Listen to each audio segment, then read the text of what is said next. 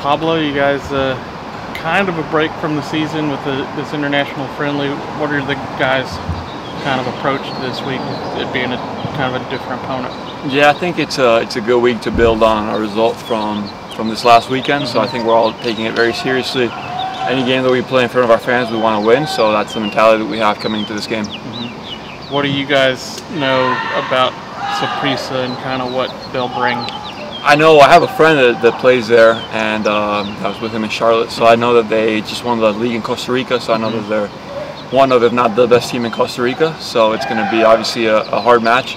They have some good players. I know that they're missing some of their guys that were with the national team, but obviously they still have a lot of quality, and it's going to be a, a difficult game. So we're going to have to be at our best.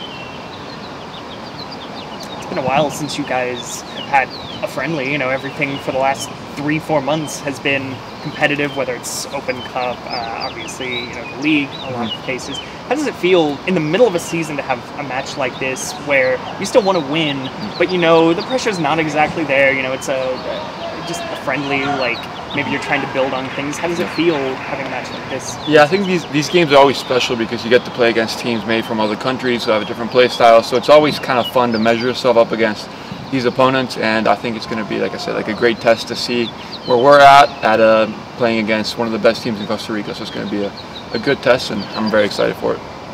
Obviously, the discussion over the last month had been the losing streak, and then you guys finally broke that on Saturday. What's the? How much has it lifted the mood in camp this week?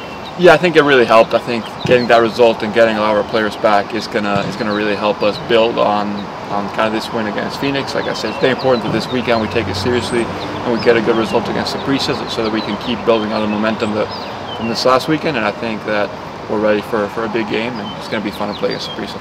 For you personally, how good was it to get back out on the field? You'd missed, you know, two months with the injury. Yeah, it felt great. Honestly, it felt great to be to be back out here to play in front of our fans, stuck with us out in the rain, and it just felt very good to be to be back out and to get a, a very positive result. Good. Thanks, Pablo.